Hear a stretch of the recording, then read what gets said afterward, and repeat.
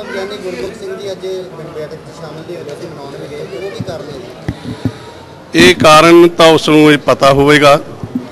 ਉਹ ਕਹਿੰਦਾ ਸੀ ਵੀ ਮੀਟਿੰਗ ਜਿਹੜੀ ਆ ਸ੍ਰੀ ਅਕਾਲ ਤਖਤ ਸਾਹਿਬ ਵਿਖੇ ਐ ਕੀਤੀ ਜਾਵੇ। ਪਿਛਲੀ ਮੀਟਿੰਗ ਦੇ ਵਿੱਚ ਵੀ ਅਸੀਂ ਫੈਸਲਾ ਕੀਤਾ ਸੀ ਕਿ ਸ੍ਰੀ ਅਕਾਲ ਤਖਤ ਸਾਹਿਬ ਦੀ ਬਿਲਡਿੰਗ ਵਿੱਚ ਤਿਆਰੀ ਕਰਕੇ ਅਗਲੀਆਂ ਮੀਟਿੰਗਾਂ ਜਿਹੜੀਆਂ ਉੱਥੇ ਹੋਇਆ ਕਰਨਗੀਆਂ। ਮੀਟਿੰਗ ਤੋਂ ਪਹਿਲਾਂ ਸ੍ਰੀ ਅਕਾਲ ਤਖਤ ਸਾਹਿਬ ਸਤਿਗੁਰਾਂ ਦੀ ਹਜ਼ੂਰੀ ਵਿੱਚ ਅਰਦਾਸ ਕੀਤੀ ਜਾਵੇਗੀ।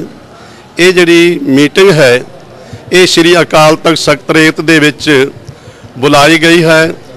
ਚਿੱਠੀ ਦੇ ਔਰ ਜਿਸ ਚਿੱਠੀ ਦੇ ਉੱਤੇ ਗਿਆਨੀ ਗੁਰਮੁਖ ਸਿੰਘ ਦੇ ਸਾਈਨ ਨੇ, ਜਿਹਦੇ ਵਿੱਚ ਸਪਸ਼ਟ ਰੂਪ ਦੇ ਵਿੱਚ ਲਿਖਿਆ ਹੋਇਆ ਹੈ ਕਿ ਦਿਨ ਸੋਮਵਾਰ ਨੂੰ 12 ਵਜੇ ਦਫ਼ਤਰ ਸਕੱਤਰੇਤ ਸ੍ਰੀ ਅਕਾਲ ਤਖਤ ਸਾਹਿਬ ਵਿਖੇ ਪਹੁੰਚ ਕੇ ਆਪਣਾ ਸਪਸ਼ਟੀਕਰਨ ਦੇਣ।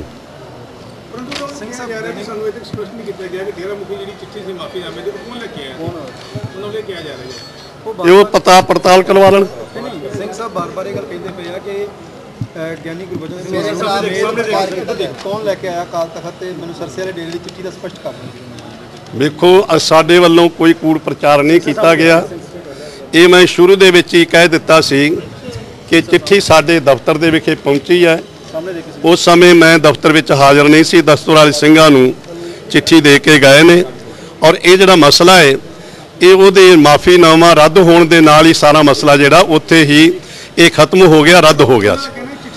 ਵਾਹਿਗੁਰੂ ਜੀ ਕਾ ਖਾਲਸਾ, ਵਾਹਿਗੁਰੂ